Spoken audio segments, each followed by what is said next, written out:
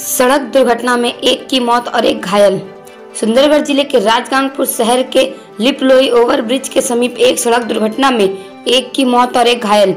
सूचना के मुताबिक कल शाम के लगभग साढ़े पाँच बजे प्रफुल्ल लाकरा और उसकी पत्नी पार्वती लाकरा एक glamour bike O D one six F four one nine nine से राजगांगपुर से अपने घर केशरा माल की ओर जा रहे थे।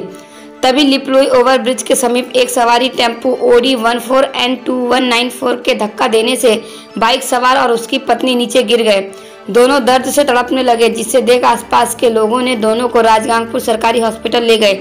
लेकिन वहाँ डॉक्टरों ने प्रफुल्ल को मृत घोषित कर दिया और उनकी पत्नी को सामान्य चोट लगने के कारण उनकी ठीक होने की जानकारी प्राप्त हुई है। राजगांगपुर पुलिस घटनास्थल पर पहुंचकर बाइक को और टेंपो सहित चालक को राजगांगपुर थाना लेकर पूछताछ कर रही है। राजगांगपुर से गंगाधर बाग की report P twenty news express